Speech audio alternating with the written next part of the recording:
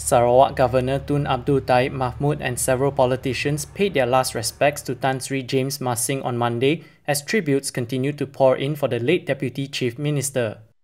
The governor said he was very sad to have lost a friend and colleague and recounted how he persuaded Masing to enter politics and serve in the state cabinet while he was Chief Minister.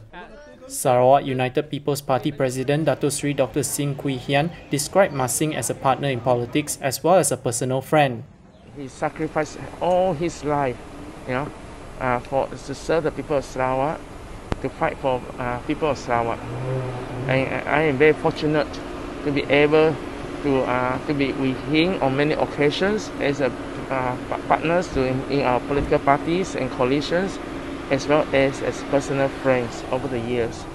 Gabungan Parti Sarawak Secretary General Dato Sri Alexander Nanta Linggi said he had lost a friend and mentor in politics. Uh, saya, mewakili keluarga saya, amat merasa akan kehilangan uh, seorang yang begitu penting dalam kehidupan dan juga dalam arena politik Sarawak dan kehilangan seorang tokoh yang amat-amat um, bermakna lah kepada perjuangan negeri kita dan juga rakyat lebih-lebih rakyat di bawah bandar dan kaum Dayak.